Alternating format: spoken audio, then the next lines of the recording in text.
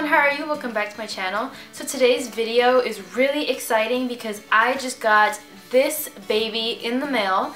This is the new Too Faced Chocolate Bar Bonbons palette which comes out December 8th and I got the opportunity to try it out before it actually comes out so I'm really excited that I got my hands on this. This will be a review and swatch video and sort of like a first impression since I did just get it, but I have already played with it. I already just did my makeup using this palette, so I'm super excited and I will be doing tutorials using this because I'm just so ecstatic that I got to try this out. So without further ado, let's get right into this video.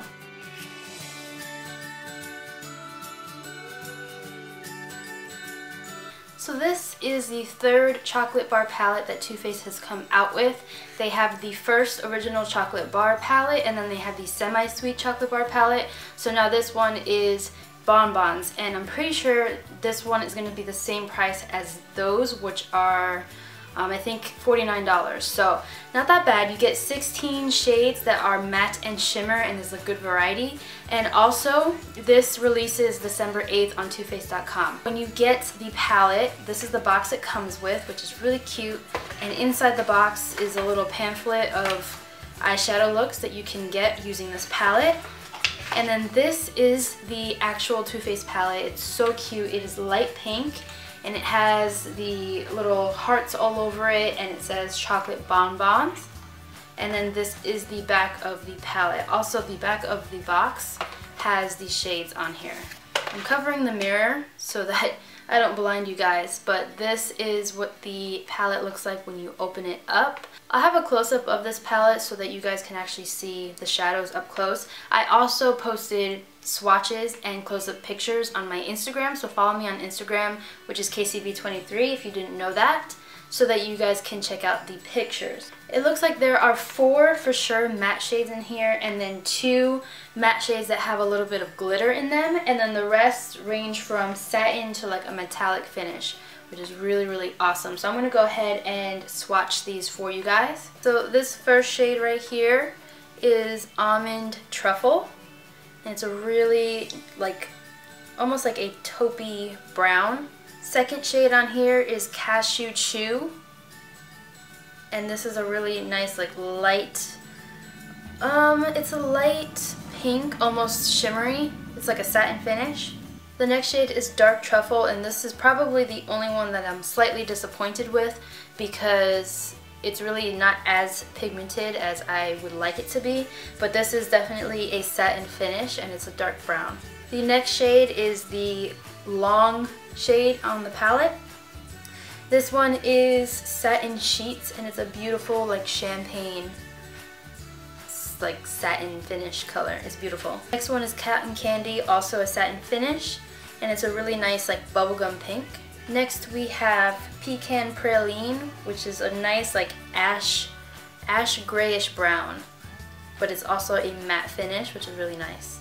Next shade is Cafe Ooh, late. I don't think I'm saying that right, but it's just a really nice like silver, like a taupe silver.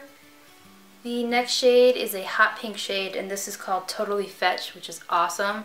And this one is a matte. Actually, no, this is a satin. The next shade is Sprinkles. I don't know if you can see that right here.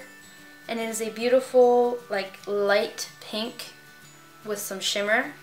The next shade is Bordeaux, and this one is a really nice chocolatey brown with a little bit of red undertone, and this is a matte finish. The next shade is Earl Grey. This is like a slate gray color, and this has a satin finish. Probably one of my favorite shades in this palette. This is Molasses Chip, and it is gorgeous. This is more of like a metallic finish, and I don't know how to explain this color. It's probably like a nice coppery chocolatey bronze color. It's just really pretty. The next shade is Mocha and this one is a medium brown shade and it's a matte. Next shade is Malted and this one is a deeper brown but this has some pink shimmer in it and I want to say this is a matte finish with a little bit of glitter.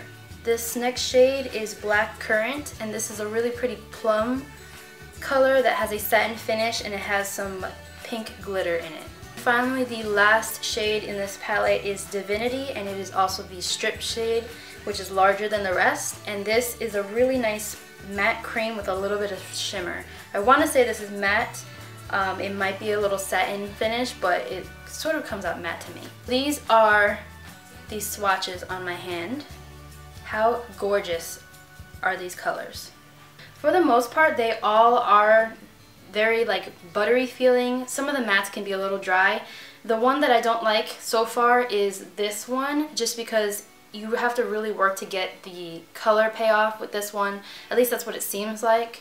Um, maybe with a primer it'll show up a little bit better, but the rest of them are pretty, pretty good. This palette smells like chocolate, like all of their chocolate products, like the bronzer and the other chocolate bar palettes. It does smell really good and it makes me want to eat it, but I'm not going to, obviously. So that was my little first impression swatch review video of this palette. Also, I wanted to mention really quickly that this little booklet that it comes with that gives you ideas is really helpful. I actually used this first one right here to create the eye look that I'm wearing right now and that one is using molasses chip which is that beautiful color I was talking about right here all over the lid with mocha in the crease which is this one right here. No this one down here is mocha. And then Bordeaux, which is this one, uh, to deepen the crease. And that's pretty much it. I also use satin sheets, which is right up here for the inner corners and my brow bone. It's really pretty and these things are so easy to follow, so I just wanted to mention that really quickly. If you want to see specific tutorials using this palette, maybe the eye look that I have on right now, or something a little bit more fun with more like pops of color, definitely let me know down below. Give this video a thumbs up if you are going to get this palette when it releases. I'll have all the information on this palette down below in case you missed it or in case I forgot to talk about anything in particular. Um, I just wanted to say thank you so much to Ipsy OS or Ipsy Open Studio. They are the ones that gave me the opportunity to try this palette out before it was released and I'll also have information about Ipsy Open Studio down below. If you are a beauty creator, it's pretty much free to sign up so I would definitely do that. Subscribe to my channel if you have not already. Follow me on all my social medias. I'll have them right over here but definitely follow me on Instagram so you guys can see the up, up close pictures and swatches of this palette. I'm really excited to play with this. I know this is going to be a favorite of mine and I just can't believe that I got to try this. And I'm actually thinking of getting the other chocolate bar palettes just because of how great this one is so far. But yes, if you had to choose between the two chocolate bar palettes that are already released, which one would you recommend? Let me know down below. I love you guys so much and I will see you guys in my next video. Bye.